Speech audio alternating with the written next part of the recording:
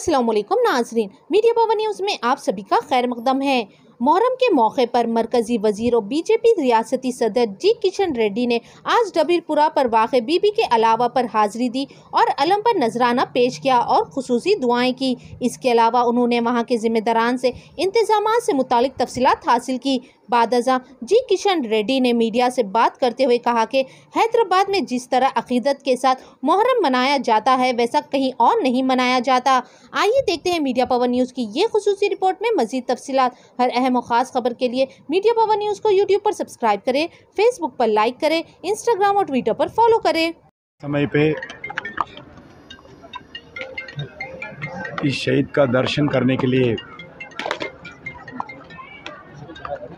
हम लगातार बहुत सालों से आके श्रद्धांजलि अर्पित करते हैं। आज भी श्रद्धांजलि अर्पित करने के लिए मैं आया हूँ। हर व्यक्ति जीवन में समाज के लिए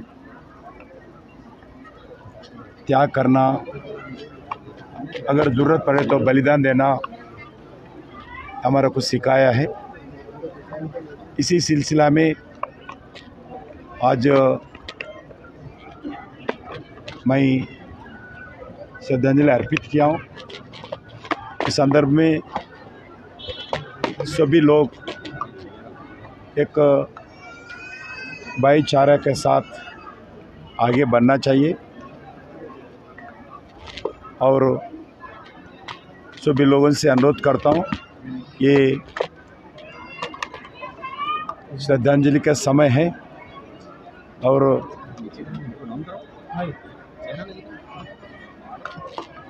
दुनिया में अलग अलग जगह ये कार्यक्रम होते रहते हैं। हैदराबाद में